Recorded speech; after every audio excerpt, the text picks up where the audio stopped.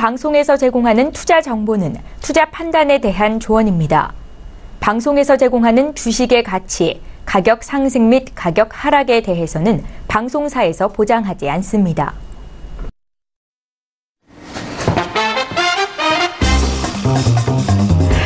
안녕하세요. 톡스타 2부로 다시 돌아왔어요. 2부도 즐겁게 즐기시라고 참여 방법부터 안내해 드릴게요. 전화 023153에 2611번, 2612번 두 대의 전화기로 활짝 열어두고 있고요. 문자는 샵 0082번으로 함께 해보실 수 있습니다.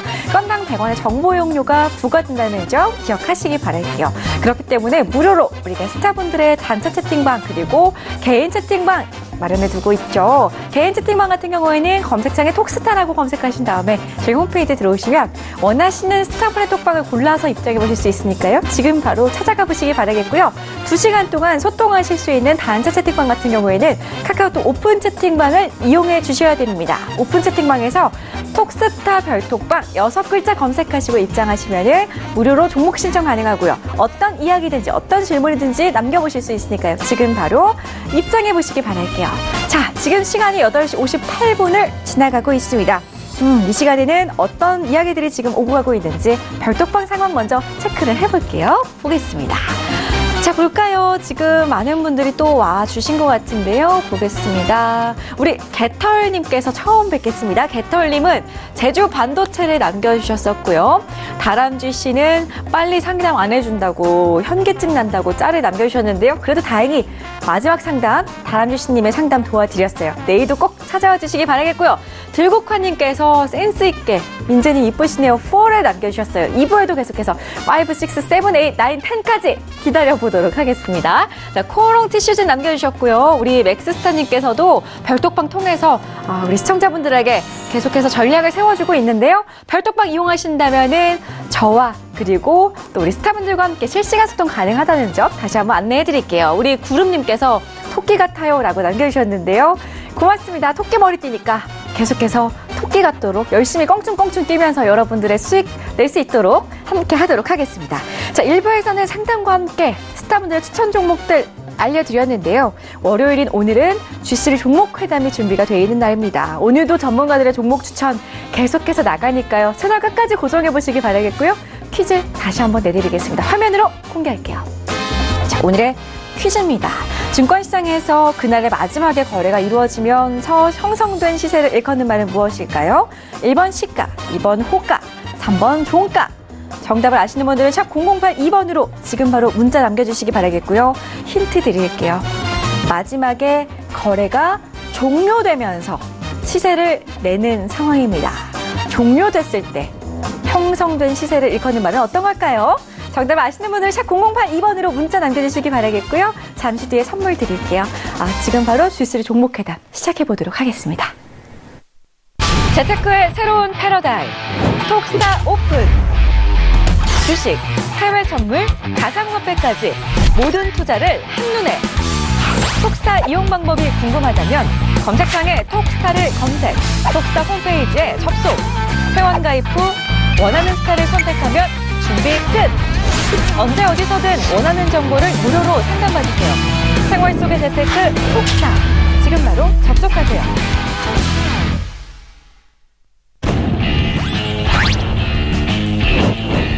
손실 계좌 복구 전문 옐로우 칩 공략으로 당신의 죽은 계좌도 살려낼 리나스타입니다. 대마주와 우량주로 시장을 압도하는 적토마스타입니다.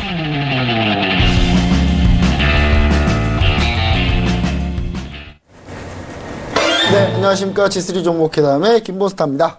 네, 오늘 또 참 많은 이슈가 있었습니다. 많은 시장 이슈가 있었는데 오늘 결정적으로 뭐 우리가 봐야 될 이슈는 뭐냐면 뭐 시장이 안 올랐다는 거죠. 네, 안 올랐다는 겁니다. 아, 물전쟁 좀 끝나가나 했더니 또다시 이제 어, 이번 주가 원래 2천억 달러 관세부가 예정이었기 때문에 당연히 좀 노이즈는 있을 거라 생각했는데 어, 전체적으로 좀 많이 안 좋았고요. 다만 중국 증시가 좀 막판에 좀 올라왔다.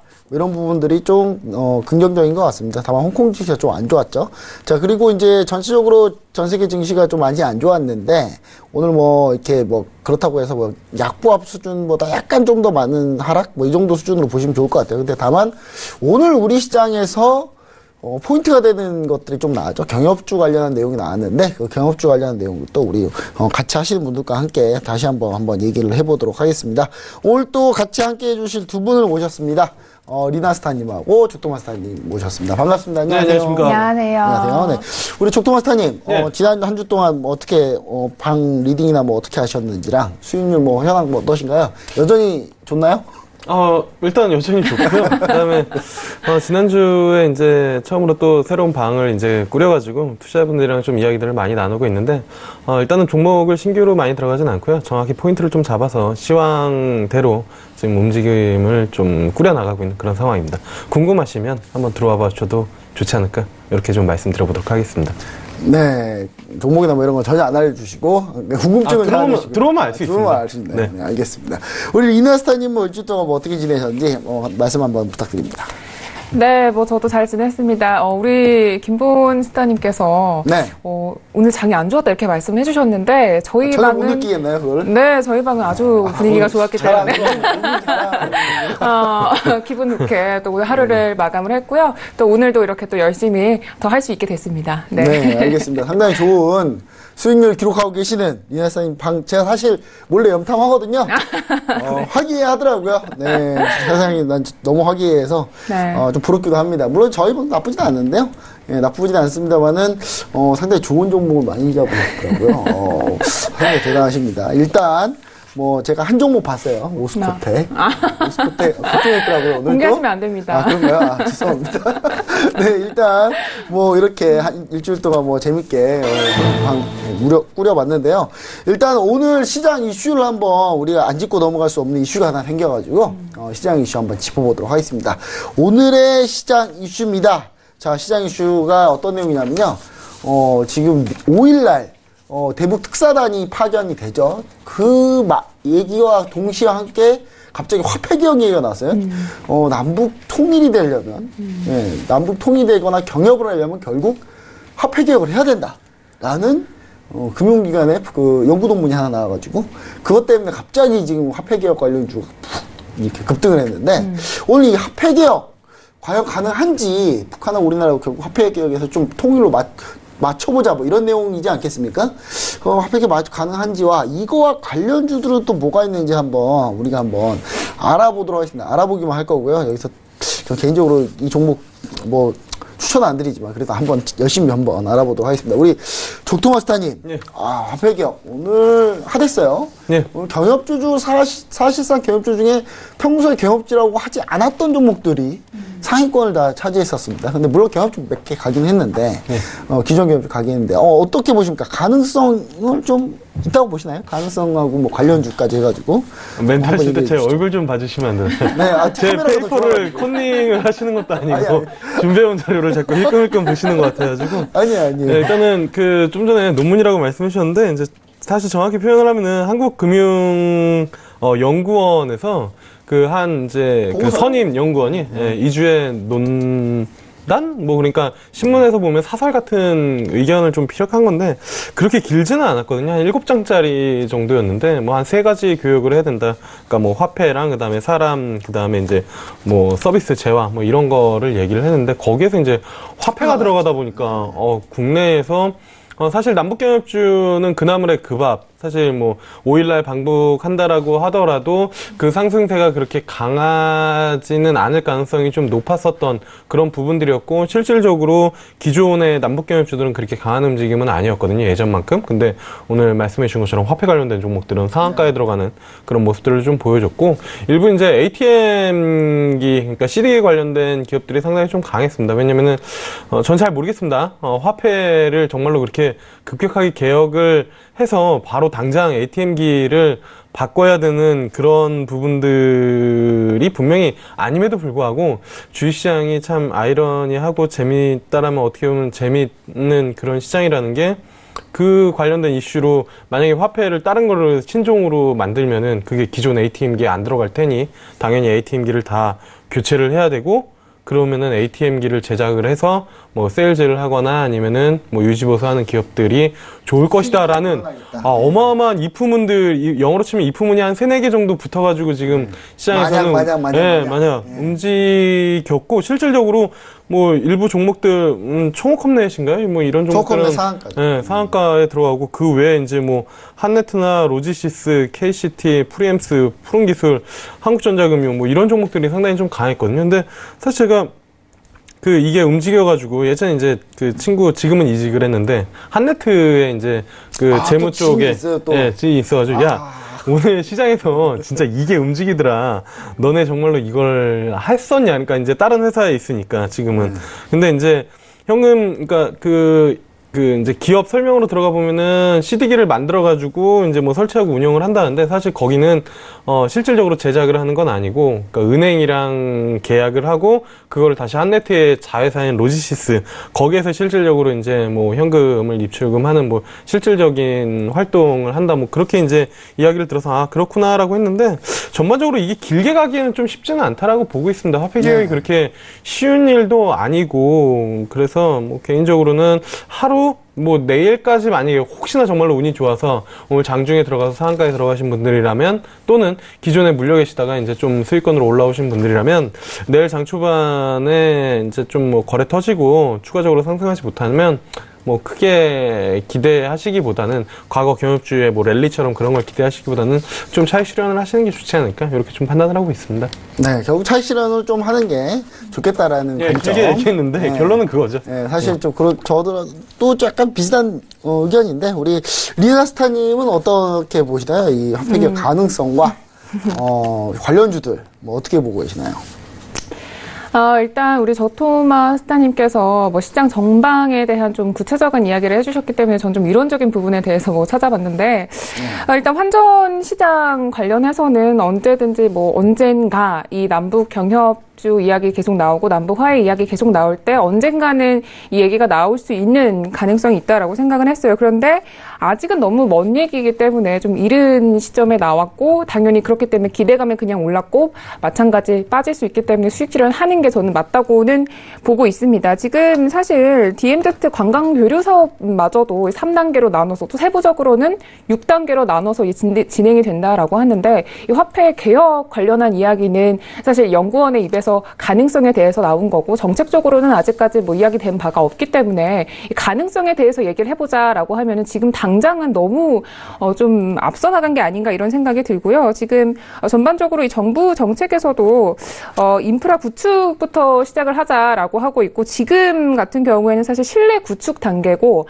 아직까지도 이 실내 구축이 정확하게 되지 않은 상황에서 이 화폐 개혁 얘기가 나오는 것은 좀 이른 상황이다 이런 얘기가 어, 될것 같습니다. 그리고 제가 좀 독일 관련한 네, 이야기도 좀 독일. 재밌을 것 아, 같아서 찾아봤어요. 좀 선례가 있으니까. 네, 그래서 독일은 좀 어떻게 했을까 하고 궁금해 서 봤더니 2000, 1990년에 지금 소독과 동독이 정치적으로 통합을 하면서 아예 이 화폐도 1대1 가치를 두고 아예 통일을 했더라고요. 근데 이게 아무래도 정치적으로 그냥 시장을 무시를 하고 정치적으로 통합을 해버렸더니 역시나 시장에서는 좀 부작용이 많이 났다라고 합니다. 근데 다행히도 그때는 사실 서독과 동독이 따로 이제 나누어져서 산업 부분에서 어, 자기네들이 좀 어떻게 안정이 되어 있는 산업들이 있었지만 지금 현재 이 독일의 한 대학의 영- 경제연구소 교수 같은 경우에는 북한 경제는 아직 안정이 되어 있는지 어, 공개적으로 어, 보여 있는 바도 없고 그리고 만약에 그렇다고 하더라도 좀 우리 수준과 맞춰졌을 때 남한과의 네. 어떤 수준 부분에서도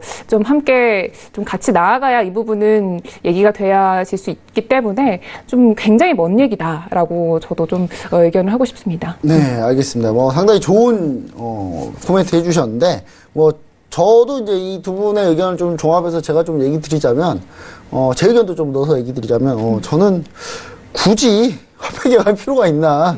뭐 사실 뭐 이러려고 이럴 때 쓰라고 가상화폐 있는 거 아닌가요?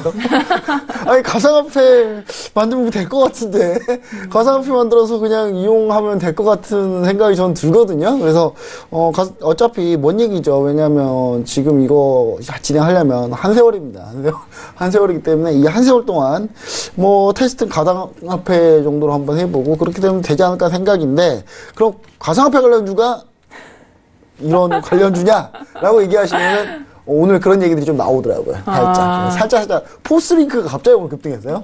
네, 포스링크가 급등하길래, 뭐야, 이거 도대체 가상화폐로 다시 흐름이 옮겨가나? 이런 생각 해봤는데, 어, 근데 제가 봤을 때는 오히려 가능성은 가상화폐 쪽에 열려있다. 네, 그리고 요즘에 가상화폐가 워낙에 시세가 안 좋았다가 이번에 ETF 어, 미국에서 ETF 상장하려고 지금 막 노력하고 있잖아요. 그거 얘기 나오면서 조금 이제 가상화폐 다시 또 어, 타격받으려고 하고 있는데 어, 제가 봤을 때는 어, 이것도 방법이 여러 가지고 하려면 한 세월이고 일단 결정적으로 우리나라 아직 가상화폐 관련 제도도 아직 네. 다안 만들었잖아요, 아직도. 예, 도대체 공무원 뭐 하고 계신지 모르겠어요. 이거 만든다고 한 지가 몇 개월인데. 아, 지금 세월아 내월아 하고 있는 것 같은데 시장에서 부작용 많은데 세월아 내월아만 하고 계셔가지고 뭐 계속 세월아 내월아 하시- 하시는 우리 공무원분들 행태를 봤을 때는 제가 때는 한, 한 세월 걸린다. 아직 멀었다. 어, 저는 웬만하면 이런 종목 별로 그렇게 접근 안 했으면 좋겠다라는 게 제 생각입니다.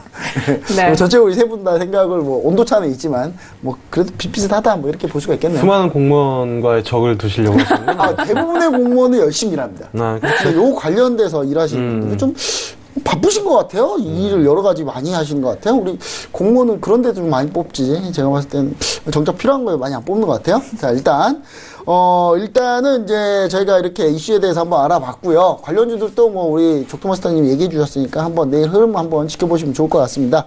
자, 그리고 우리가 G3 종목 회담. 우리가 이제 여기서 종목을 서로 가져와서 이 종목을 서로 토론을 통해서 종목을 편입하고 제외하고 하는데 이 편입하고 제외하는 부분에 대해서 우리가 수익률 어떤지 한번 수익률 한번 보겠습니다. 네, 수익률 이거 진작 봤어야 되는데. 어, 수익이 너무 좋아서 빨리 보고 싶었거든요. 네, 먼저 서진 시스템. 아, 서진 시스템 상당히 좋네요. 우리가 31,300원에 매수해가지고 현재 7월 31일 우리 첫 회 방송에 편입을 했죠. 편입을 했는데 지금 수익률이 24.60%. 우리가 저기에 하나 한 칸을 더 만들어야 될 것 같아요. 누가 했는지까지 해가지고 네, 김보스타가 있습니다. 네, 그리고 CJENM. 예, CJNM이 있는데 24만 8,500원. 뭐 CJ ENM 뭐 그렇게 많이 가지는 않았습니다만 그래도 흐름은 나쁘지 않다. 저는 뭐 이렇게 보고 있고요. 어, 현재가가 어, 현재 뭐 24만 8,200원이어가지고 수익률은 한 4%씩이네요. 우리 적토마스타님이 추천하신 종목이고요. 아, 휠라 코리아. 아, 휠라 코리아 너무 아쉽습니다. 네, 오늘 장중에, 어, 휠라 코리아가 장중에 trailing stop 가격을, 아 찍어버렸어요. 예, 찍어버려서, 어, 지금 수익 실현, 자동 수익 실현이 돼버렸는데, 어, 수익률은, 어, 1등이네요. 아유. 25.79%. 박수 한번 쳐드리겠습니다, 우리 적동마스타님. 아유, 고맙습니다. 네. 수익 실현해서 종목이 힐라코리아가 자동 제외 하- 되도록 하겠습니다. 그리고 동아ST, 동아ST가 99,500원에 매수 편입해서 지금 현재 10만 2,500원을 기록하고 있네요. 3% 수익률 기록 중에 있습니다. 그리고 어 이건 리나스타님이 이제 가져오신 종목이고요. 후성, 아 제가 가져왔는데 어, 안 가고 있습니다. 네, 안 가고 있습니다. 유일하게 지금 수익률 마이너스인데, 어, 아니 3%네요. 네, 후성 같은 경우는 이제 편, 지난주에 편집했으니까 일주일 좀 더 보자. 뭐 이런 얘기 다시 한번 드리고 싶어요. 네, 일단 뭐 이렇게 후성까지 해서 종목 현재 편입 종목 한번 알아봤고요. 어, 우리 어, 지수리 종목 회담은요 어, 룰이 이렇습니다. 어, 각자 자기 종목 가져와가지고 서로 토론을 통해서 두 명 이상이 동의하면 어, 편입과 제외를 결정하고요. 어, 편입과 제외를 할 때는 어, 매수가를 지정하지 않으면 이길 평균가로 한다라는 부분 반드시 룰로 알아주시면 좋을 것 같고 최대 다섯 종목 그리고 세 명이 모두 다 동의하면 뭐 여섯 종목 늘어갈 수는 있습니다만은 뭐 그렇게 종목 많다고 종목 백화점 해봐야 뭐. 뭐 좋지는 않잖아요. 일단 일단은 뭐 그렇게 해서 저희가 운영한다는 거 반드시 참고해 주시면 좋을 것 같습니다. 자, 그다음 이제 우리가 이렇게 종, 보유 종목 수익률 알아봤는데 우리가 이제 종목을 이걸 뺄지 어떨지를 한번 봐봐야 될 것 같습니다. 우리 종목 리뷰를 하는 시간을 가져보도록 할 텐데요. 우리 적토마스타님, 예. 예, 보유 종목 한번 리뷰 한번 부탁드립니다.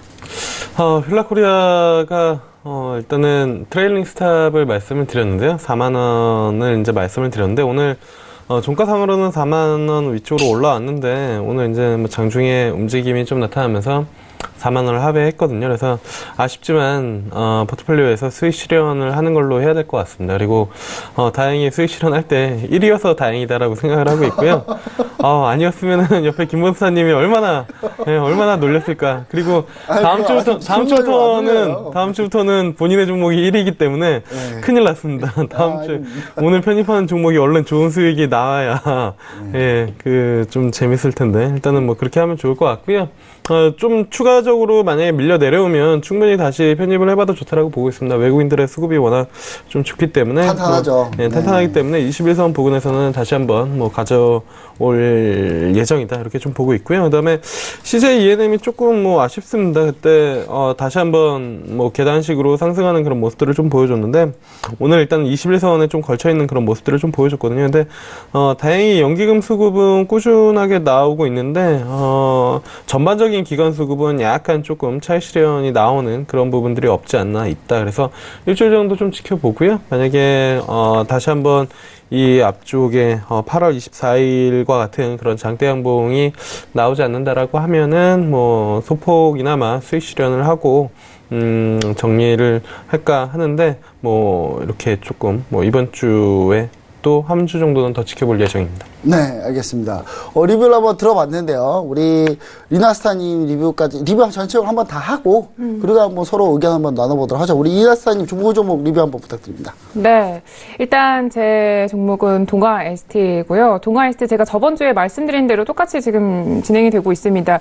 어, 다음 주 됐을 때는 분명히 121선 위로 올라올 것이고, 올라왔어요. 그때부터, 네. 그때부터 더 상승, 네, 단- 그때부터 더 상승 추세가 나올 것이다. 이렇게 말씀을 드렸는데, 아, 다행히도, 네. 120여 선 위로 올라왔고요. 그다음 전반적으로 또, 어, 여기서 힘을 받고 또 준비 중인 것 같습니다. 그런데, 어, 사실, 조금 이 프로그램은 어울리지 않는 종목인 것 같기도 해요. 사실, 이, 아, 네. 저는 한 가지 안타까운 게 하나 있는데, 네. 이게 뭐가 안타까우냐면요. 네. 음. 저희가 수익률이 되게 좋거든요. 좋은데 코스닥이 갑자기 올라오면서 우리가 이제 벤치마크 대비, 음. 지수 대비 수익률이 아직도 그래도 이기고 있습니다만 다행입니다. 그렇게 많이 이기고 있지 않습니다. 아, 코스피보다는 물론 엄청 이기고 있어요. 음. 근데 코스닥이 최근에 제약바이오가 중소형 제약바이오가 맞습니다. 급등하면서 이게 코스닥 지수 올라서 동아이스티로 과연 따라갈 수 있을까 이런 생각 좀 있었어요. 음. 네. 저도 사실 그 부분에는 좀 동의를 하는 바이고요. 네. 그래서 조금 더 탄력적인 종목이 좋겠다는 생각을 하지만 그래도 동아ISD 같은 경우에는 지금 최근에 또 일본 관련해서 어, 또 협약을 맺었고 또 전반적으로 지금 아무래도 항암 바이러스 시장이 또 개화하고 있기 때문에 어, 동아ISD 종목을 지금 장기적으로 또 투자를 하시고 그런 성향이신 분들은 추- 충분히 가져가셔도 되고 지금 어, 외국인 투자자가 계속해서 좀 사들이고 있는 부분을 봤을 때 또 추가적으로도 천천히 올라가지만 또 천천히지만 그래도 올라갈 수 있다라는 부분을 말씀을 드리지만 아까 역시 말씀대로 아, 그럼 제인가요? 제가 네 제가 되게 오늘 아쉬워하는 듯한 느낌이에요. 이거 이거 어떻게 될 것 같냐면요. 제인데 급등하면 제, 제 탓될 것 같아요. 아, 근데 저 조심스러워서 얘기를 못 드렸는데 진짜 조만간 한번 터지긴 할 네, 것 같습니다. 터지긴 할 것 같은데. 왜냐면 다 올라탔거든요. 아, 네. 네. 툭 건들면 음, 툭 건들면 건드리면, 네. 바로 지금인데 사실 네. 그래서 한번 저는 아 근데 저는 좀 빠른 종목이 좀 낫지 않나 생각도 좀 해보는데 일단 뭐 제 리뷰까지 하고 한번 종목 전체 한번 얘기 한번 해보죠. 네. 그럼 이제 제 리뷰 한번 보겠습니다. 서진 시스템. 아 서진 시스템 이거 팔아야 되나요? 네. 왜냐하면 팔지 않을 종목이다라는 저는 생각을 하고 있는데 왜냐하면 일단 이슈가 하나 나왔어요. 왜냐하면 이 서진 시스템이 최근에 최근에 이제 5G 통신 장비 관련해서 어, 이 종목들 얘기가 나왔을 때 서진 시스템이 상당히 좀 주목을 많이 받았거든요. 이유가 이제 삼성전자가 지금 어, 어느 정도 좀 이 서진 시스템 관련해서 이제 문, 어, 화웨이 통신 장비를 쓰지 않는 것 때문에 삼성전자가 수혜볼 가능성이 있다라는 얘기들이 지금 나오고 있어요. 근데 지금 기관 수급은 서진 시스템이 좀 줄었습니다, 많이. 많이 줄었어요. 차트를 보시면 아시겠지만 기관 수급은 많이 줄었지만 저희가 trailing stop을 47,200원으로 잡아놨기 때문에 뭐 잡아놓고 그냥 보면 된다. 근데 시청자분 여기서 물어보는 분들이 가끔 계세요. trailing stop이 도대체 뭐냐? 아, 익절, 그러니까 수익에서 stop을 하겠다라는 어, 수익 stop 가격이에요. 그래서 37,200원을 수익 stop을 저희가 잡아놓고 어, 해놓으면 어, 그냥 주구장창 봐도 되지 않을까? 라는 생각을 저는 좀 해보게 됩니다. 지금 원래는 우리 통신 3사 중에 LG U 플러스가 화웨이로 완전히 돌아섰는데 어, 지금 화웨이 LG U 플러스가 뭇매를 맞고 있어요. 요번에 그 중국 거를 쓰기 너네가 지금 중국 거 쓰냐? 그래서 지금 KT랑 SK텔레콤이 지금 살짝 고민하고 있습니다. 이거 왠지 같이 또 중, 하웨이 거 쓰려고 했었거든요, 원래는. 아 그럼요 가격 차이가 있는데요. 그럼요. 뭐 좋- 좋다고 네, 하더라고요. 기술력도 네. 좋아요. 아니 근데- 이제 중국 정부의 네. 그거를 받아가지고 그렇죠. 네, 그래서 그래도 저는 입장이 제가 써진 시스템을 추천해서 그런 게 아닙니다, 절대로. 어, 저는 그 우리나라 보안이 중요하다라고 생각합니다. 중국, 중, 미 해군이 중국 하웨이 통신장비 쓰다가 해킹 당했는데 우리나라도 당연히 당할 수도 있다 이런 얘기를 우린 전 분명히 하고 싶고요. 우리 통신사분들 반드시 좋은 선택해 주시기 바랍니다. 돈이 다가 아닙니다. 예, 뭐 여기까지만 얘기 드리고요. 일단 서- 할 선진 시스템이 그러면 좀 더 좋겠죠, 선진 시스템이. 예, 그래서 보유하겠다라는 얘기 좀 드리고요. 자, 두 번째 점으로 후성.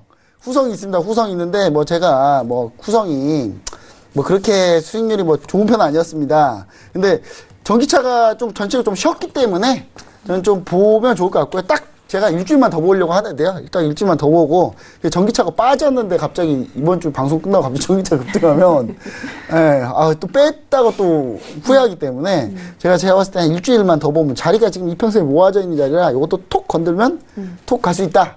뭐 이런 얘기를 다시 한번 드리고 싶어서 서진 시스템 아, 후성 후성 고점 대비 기간 조정했고 이평성 지금 전투 지역에 있습니다. 전투 지역에 있어서 일주일만 더 확인해 보면 어떤가라는 얘기도 하고요. 인도 전기차 이슈는 아까 그 화폐 개혁과 같은 일회성 이슈가 아닙니다. 예, 예, 보조금 7배 한- 상향하는 거면 어마어마하게 상향하는 거니까요. 이 부분 좀 우리가 좀, 좀 약간 중기적으로 한번 봐보자. 라는 의미에서 보유 하는 건 어떤가. 저는 그렇게 좀 얘기 좀 드리고 싶네요. 자, 이렇게 해서 리뷰를 다섯 종목을 모두 마쳤습니다. 자, 어, 북투머스타님은 이 중에서 좀 어차피 휠라 코리아는 빠지는 걸로 돼 네. 있고요. 이 수익 실현해서. 네. 뭐, 종목 뺄 종목이 있을까요? 어, 일단은 제가 오늘 가져온 종목이, 아, 제가 지난주에 사실 이번 주까지 동아ST가 안 움직이면 저 종목은 제가 빼겠다라고, 아, 제가 빼는 건 아니지만 빼는 의견을 좀 강하게 피력을 하겠다라고 이제 좀 말씀을 드렸기 때문에, 어, 오늘 제약바이오 종목을 한 종목 가져왔거든요. 그래서 저는 개인적으로는 동아ST를 좀 제외를 하고, 어, 가보면 어떤가? 예, 가보면 아, 어떤가. 의견이 그러시군요. 네, 사실 근데 후성이 저렇게 빠질 줄 알았으면 후성을 뺐죠. 아니 근데 제가 네. 지난주 한 얘기가 있어요. 네. 제가 지난주 한 얘기가 뭐냐면 한양 ENG 후성 안 가면 한양 ENG로 바꾸겠다. 맞아요. 한양 ENG도 안 갔어요. 안 갔으니까. 아, 지금 안 가는 종목들 찾아내는. 아니, 그러니까 지금 그래도 어, 어느 정도 까지 방지권 네. 같은 거 하나 주셔야 되는 거 아닌가. 저는 그 얘기 좀 드리고 처음부터. 두 종목을 좋은 종목을 들고 오시면 안 되나요? 아, 그거 좋더라고요. 네. 청담. 청담. 어, 아, 그러니까요. 아, 청담- 지난주에 청담 러닝을 들어갔어야 되는데. 저희가. 제가 아 진짜 네. 저희가 제외한 종목도 얘기를 잘안 할까봐. 안 하려고 하다가 정확히 2만 원 선 초반에서 매수를 했으면 오늘까지 한 15% 수익이 났겠네요. 네, 청담 러닝이 상당히 네. 잘 갔더라고요. 네. 오늘 신고가입니다. 네, 뭐, 네. 더갈 딱 겁니다. 제가, 제가 억지로 언급해드렸어요. 더갈 겁니다. 네. 자, 그리고, 어, 리나스타님은 뭐 여기서 빼야 될 종목이 있을까요? 뭐 확실히 그 동아에스티 빼는 겁니까? 음, 네, 빼고 네. 제 종목으로 교체를 하도록 하겠습니다. 오셨나요? 저도 제약바이오. 종목으로 가지고 왔기 때문에 네. 아. 반드시 제 종목으로 교체를 하도록. 지금 제, 제약바이오를 각각 다 들고 나오셨고, 저도 사실, 저도 제약바이오 들고 나왔거든요. 이러면 제약바이오 내일부터 꺾이나요? 아, 그렇지 않습니다. 아, 제? 거는, 어, 이슈가 만만한 종목이기 때문에, 어, 좀, 어, 제가 좀 이따가 얘기를 다시 한 번, 자세히 한번 드리도록 하겠습니다. 이- 그러면 이제 동아이스트가 만장일치로 빠지고, 나머지는 그럼 홀딩하는 걸로, 보유하는 걸로. 네, 알겠습니다. 네, 나머지 종목들은 전체 보유하고, 동아에스티를 내일, 예, 내일 매도하도록 하겠습니다. 그럼 동아에스티를 매도하는 걸로 해서, 그럼 두 종목이 자리가 비네요. 그럼 각자 어떤 종목이 나왔는지 한번 볼까요, 한번? 아, 네. 제가 가져온 종목이 엔지켐 생명과학입니다. 예, 김모스타 엔지켐 생명과학. 그리고 우리 조토마스타님이 종목 두 개 가지고 나오셨네요. RFHIC랑 메디톡스. 아, 메디톡스를 다시 재도전. 아, 네. 그 다음에 우리 이나스타님이 LG노텍. 아, 랩지노믹스. 아, 랩지노믹스를 가지고 나오셨네요. 네, 다 빵빵한 제약바이오 관련주 종목을 다 가지고 나오셨는데, 어, 먼저 우리 적토마스타님 한번 종목 설명 한번 들어보죠. 네, 일단은 어 RFHIC 먼저 좀 보면요. 음 5G가 서진이 있긴 하다만 어 일단은 서진은 이제, 이제 여러 가지 너무 많이 다리를 많이 걸쳐놨다. 아 근데 할 말은 없습니다. 아, 뭐 서진이 다리를 잘 걸쳐놨는데 진짜 관리를 잘하는 것 같습니다. 왜냐면 어쨌든 주가로 보여주고 있기 때문에 주가가 뭐 신고가를 조만간 낼 것 같은 그러한 이제 어, 강한 움직임을 좀 보여주고 있기 때문에 분명히 좋은 종목이다라고 이제 좀 보고 있는데 그럼에도 불구하고 일단은 5G에 좀그 핵심에 좀 들어가 있는 그런 장비 관련된 종목이 한 종목 좀 필요하지 않을까. 하고 이제 좀 생각을 했고요. 그 다음에 기술적으로도 상당히 좀 좋은데 이게 이제 아, RFR 차트가 거의 뭐, 어우, 네, 좋은 차트죠. 딱 제가 좋아하는 사실 사실 저 오늘 돌파하는 줄 알았거든요. 근데 딱 돌파가 안 나와 주더라고요. 그래서 아, 요- 이거 는 제가 봤을 때 G3 종목 회담 시청자분들을 위해서 네. 좀 기다려주는 게 네, 만약에 이거. 돌파하면은 그래도 꽤 괜찮은, 예, 돌파할 때마다 그래도 수익률이 나쁘지 않게 나오는 그런 모습들이었고, 한 3, 4개월 횡보하다가 한번 뚫어주면은 괜찮은 흐름을 보여줬거든요. 사실 1월 달에도 한 4월 달, 5월 때까지 횡보하다가 돌파하고 나서는 거의 한, 어, 20% 이상 움직임이 나타났고, 그리고 나서 또다시 지금, 어, 5월 달부터 한 9월 달까지 박스권 만들고 있다가 여기서 돌파하면은 괜찮은 움직임이 좀 나올 가능성이 좀 높은데 이게 왜 어, 시장에서 관심을 좀 많이 받냐면 5G가 고주파거든요. 근데 고주파가 고주파죠. 좋은데 어, 단점은 거리가 짧아요. 거리가 짧아서 통신장비가 네. 많이 들어간다고. 네. 통신장비가 많이 들어가고 거리가 짧으면은 그 거리를 광역대를 넓혀주기 위해서 증폭기가 필요한데 그 증폭기. 증폭기 트랜지스터 증폭기를 만드는 그런 기업이다라고 보시면 좋을 것 같고요. 이게 이제 국산화가 사실 어려운 그런 부분들 중에 하나인데 기술력이 어느 정도 뒷받침 돼가지고 상당히 좀 괜찮은 움직임을 좀 보여주고 있다. 그래서 어, 단기적으로 어, 좀 단기적인 움직임도 좀 괜찮고 중장인 움직임으로도 좀 내년까지 어쨌든 5G 관련된 이슈는 어, 지속적으로 좀 나올 가능성이 좀 높기 때문에 뭐 충분히 좀 편입을 해봐도 좋지 않을까 이렇게 네. 좀 판단을 하고 있습니다. 그 다음에 이제 메이톡스도 같이 한번. 네, 메디톡스는 저는 종목이네, 개인적으로는 애지게 종목. 어, 아, 그냥 애 하는 종목입니다. 좋아하는 종목입니다.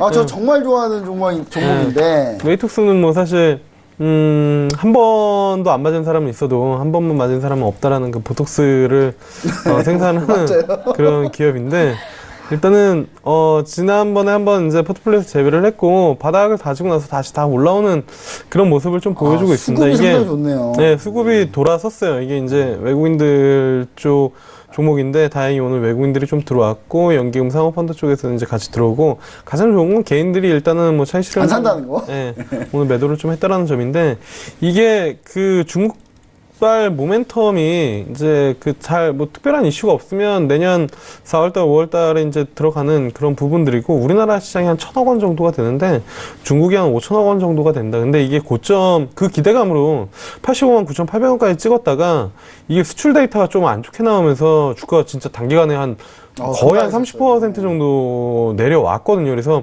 저는 이거 내려왔을 때 진짜 못 잡으면 못, 잡, 못 산다? 네, 이거 내려왔을 때 못 잡으면 사실 이 종목은 계속 못 사는 그런 종목이고 여기서 들어간다라고 하면 어쨌든 정고점까지는 충분히 좀 트라이할 가능성이 좀 높기 때문에 전 충분히 좀 접근을 해봐야 되지 않을까 이렇게 좀 보고 있고요. 그다음에 또 하나는 이게 재밌는 게 제약바이오 관련된 종목들이 갈 때 메디톡스는 상대적으로는 잘안 갑니다. 근데 제약바이오 관련된 종목들, 그러니까 신약 관련된 그런 이제 뭐 암세포나 아니면 신약 뭐 주기세포 이런 종목들이 좀 쉴 때 이쪽으로 수급이 좀 움직이는 경향들이 있거든요. 그래서 제약바이오 종목이 조금 저는 쉴 수도 있다. 그래서 두 분 가져온 종목들이 쉴 때, 쉴 때? 이 종목은 어, 갈 가능성이 좀 높다. 그리고 왜냐면 기간을 보면 아시겠지만 메디톡스 밀릴 때가 딱 갈 때예요. 예, 예. 그래서 이번 주에 충분히 좀 뭐 괜찮은 흐름이 좀 나타나지 않을까 그렇게 좀 판단을 하고 있어서 두 종목 가져와 봤습니다. 네, 알겠습니다. 이렇게 해서 메디톡스하고 RFHIC를 한번 들어봤고요. 우리 리나스타님이 가져오신 종목은 어떤 종목인가요? 네, 일단 첫 번째로 LG이노텍에 대해서 말씀을 드릴게요. 뭐 LG이노텍 근데 오늘 이 신한금융투자증권이랑 그다음에 또 어디 증권사에서 리포트가 나오면서 사실 좀 노출이 많이 되기는 했는데요. 그래도 지금 좀 시점에서는 어 딱 매수 적기인 것 같아서 한번 더 가지고 오게 됐습니다. 아무래도 이 LG이노텍 모르시는 분은 뭐 없을 것 같은데 그래도 좀 전반적으로 설명을 드리면 일단 지금 첫 번째로 이 3D 센싱 모듈 관련을 해서 좀 주목을 받는 시점이 됐어요. 그래서 뭐 얼굴 인식이라던가 뭐 동공 인식이라던가 이 카메라 관련한 이야기고 또 아무래도 증강현실 기술은 이 개발 핵심 요소로서 지금 작용을 하고 있기 때문에 추가적으로도 좀 길게 봤을 때도 당연히 뭐, 어, 이 부분이 수혜를 받을 수 있다라고 보고 있고, 그 다음에 triple 카메라 채택도 지금 좀 수요가 많이 늘 늘고 있다라고. 그래서 LG이노텍 어, 충분히 이번 3분기에도 또 전망이 굉장히 또 좋게 나오고 있기 때문에 어, 가지고 왔는데요. 어, 매출액 같은 경우에는 지금 증권사들에서 이번 3분기 때 어, 전년 동기 대비해서 35% 정도 증가할 수 있다 이렇게 굉장히 긍정적으로 보고 있고 또 영업이익은 거의 100% 넘게 증가할 것이다 이런 이야기들이 좀 쏟아지고 있습니다. 아무래도 이 부분은 이 연성 PCB 관련한 이야기인데 flexible OLED가 지금 아직 어, 이제 막 시작을 하려 고 하는 시점이잖아요. 그래서 아무래도 또 관련을 해서 터지게 되면은 LG이노텍이나 뭐 관련한 디스플레이 종목들이 또 추가적으로 어, 또 가- 분명히 관심을 받을 거고 이전에 LG이노텍 같은 경우에는 사실 애플 판매 관련해 가지고 좀 악재들이 많이 꼈었고 어, 조정을 많이 받아왔었는데요. 이 부분이 지금 이 3분기, 4분기 하반기 들어서 좀 많이 해소가 된다고 보고 있습니다.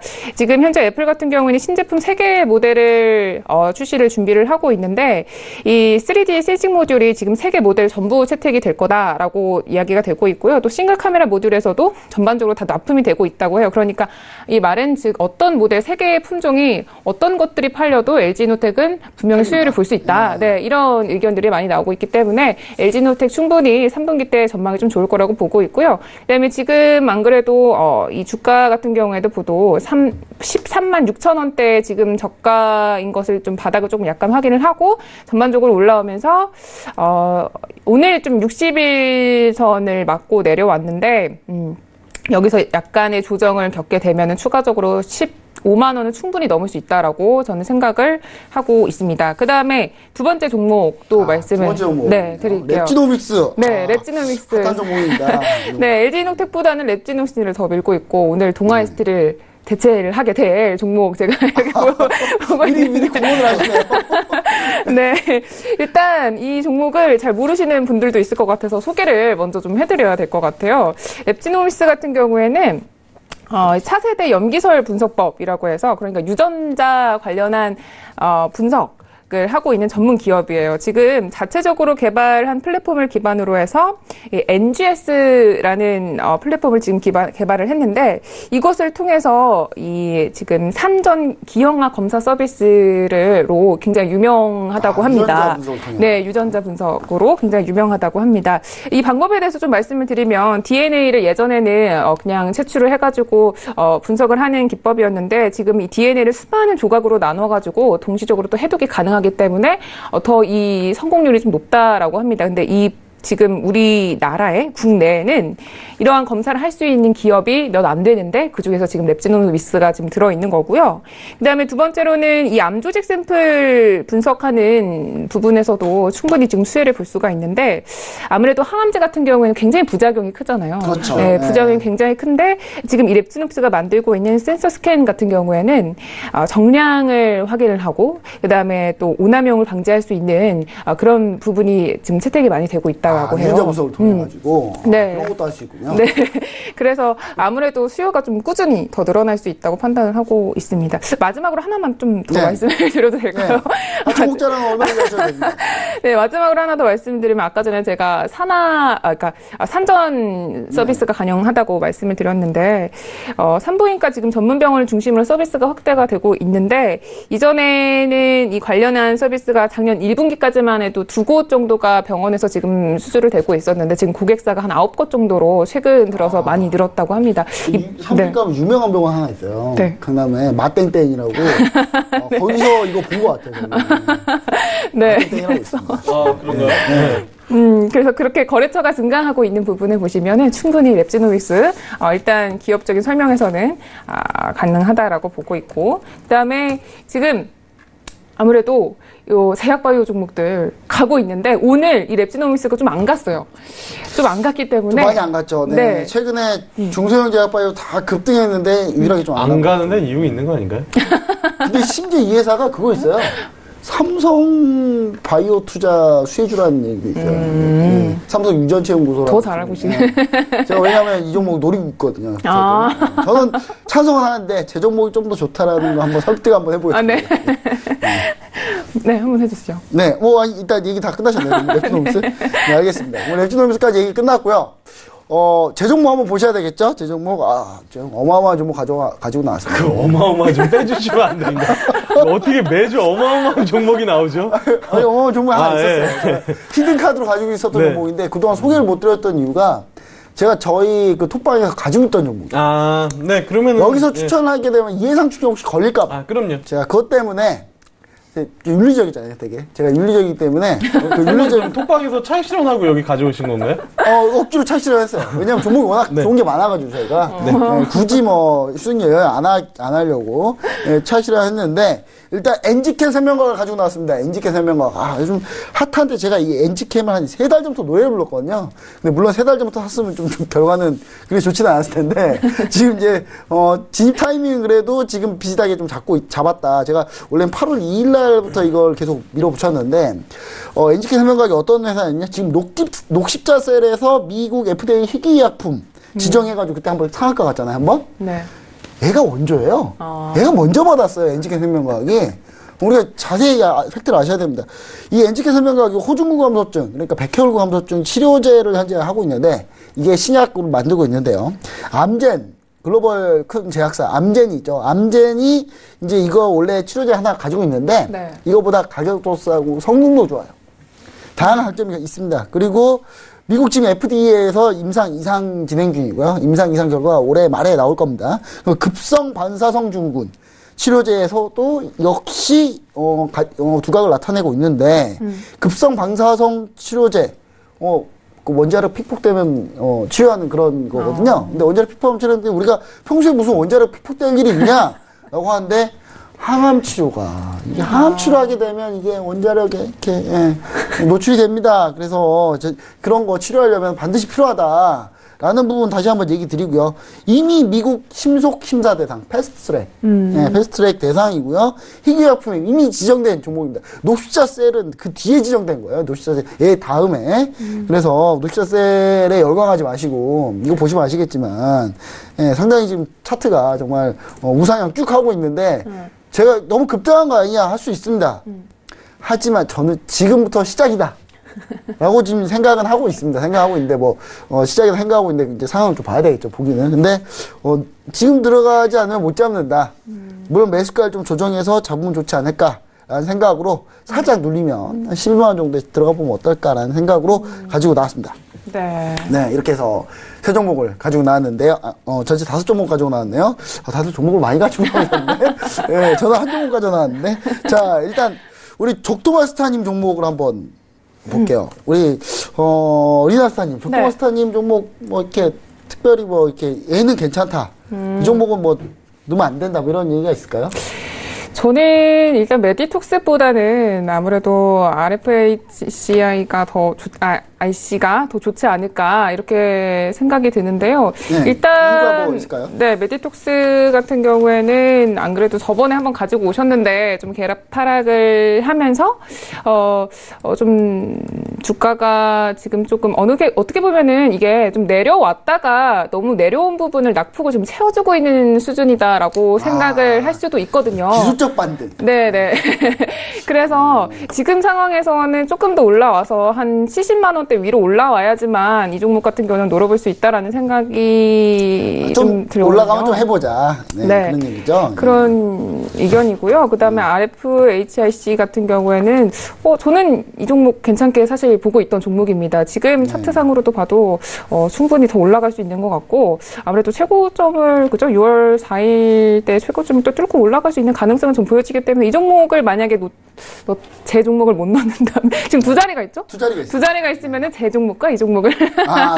넣으면 좋지 않을까. 네. 제 종목은 생각도 안 하고 계시군요. 네. 알겠습니다. 일단, RFHRC를 어느 정도 좀 긍정적으로 보고 있는데, 음. 어, 우리 적동 스타님은 전체적으로 종목, 어, 이렇게 본인 종목들은 어차피 하- 넣어야 되겠다고 얘기를 하실 네. 테고, 그럼 나머지 종목들에서 혹시 뭐, 이렇게 있을까요? 제가 봤을 때는 적토마스타님이 두 종목 두 자리를 다 욕심내는 게 보여요. 아, 저 그렇지 않습니다.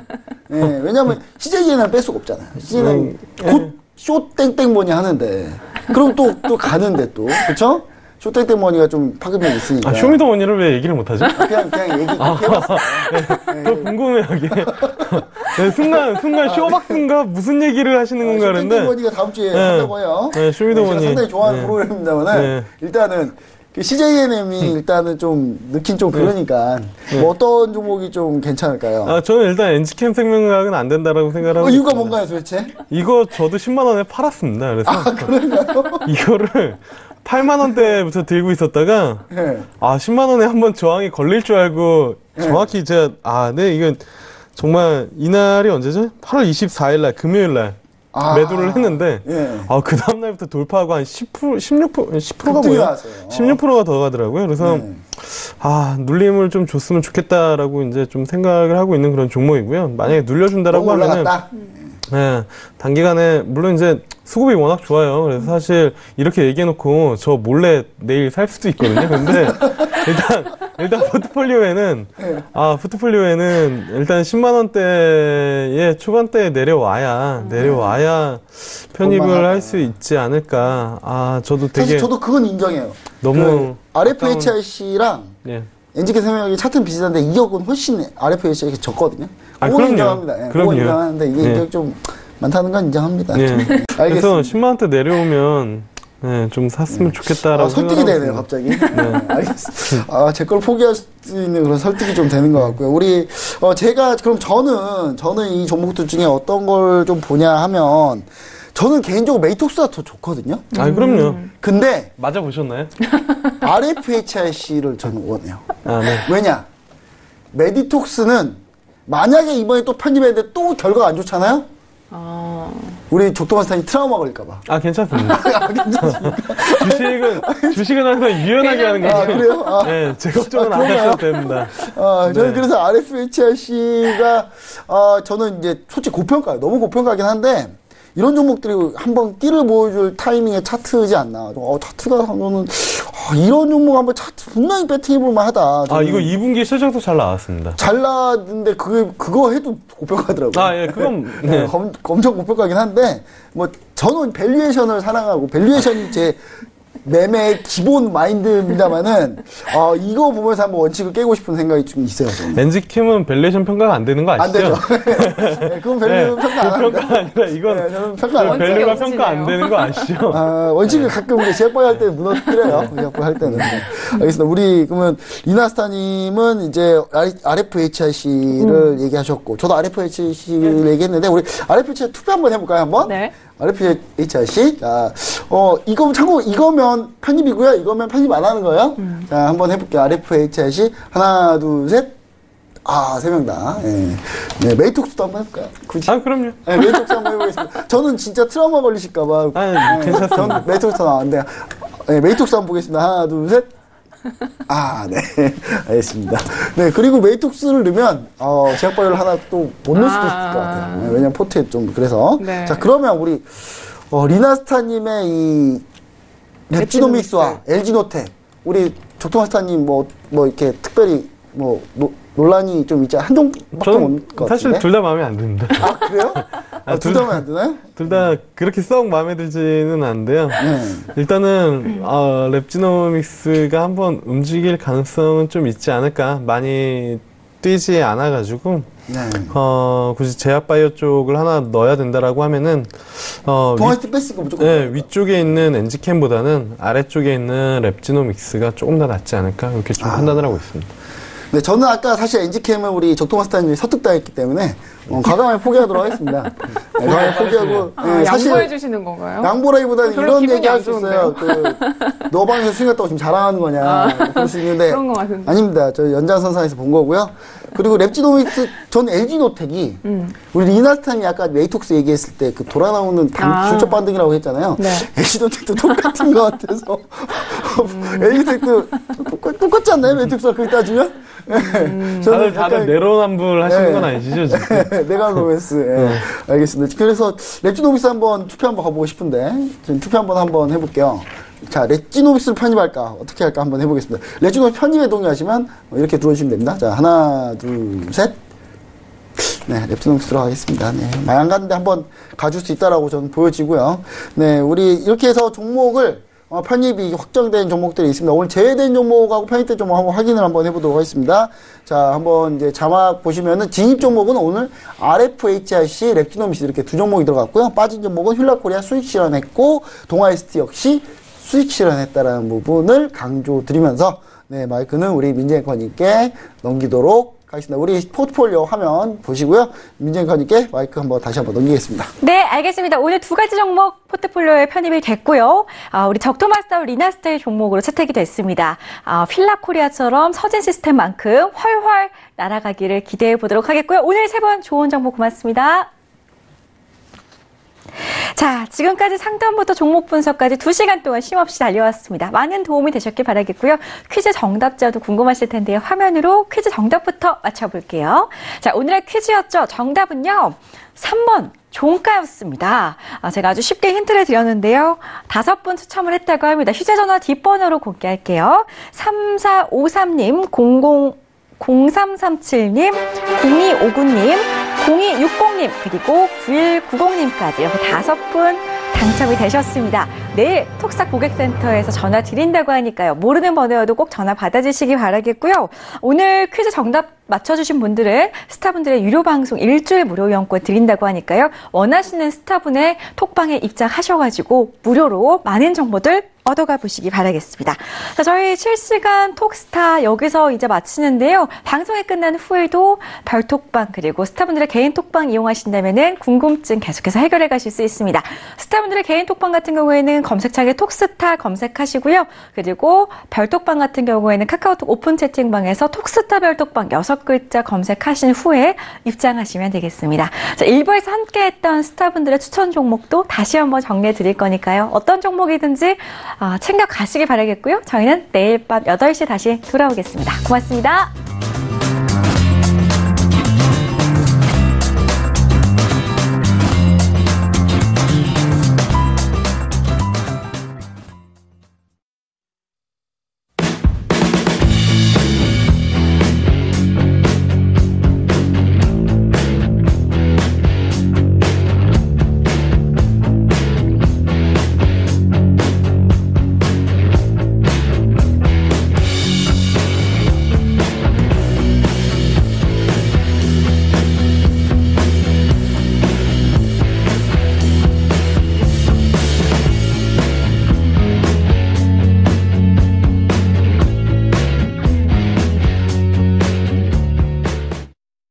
방송에서 제공하는 투자 정보는 투자 판단에 대한 조언입니다. 방송에서 제공하는 주식의 가치, 가격 상승 및 가격 하락에 대해서는 방송사에서 보장하지 않습니다.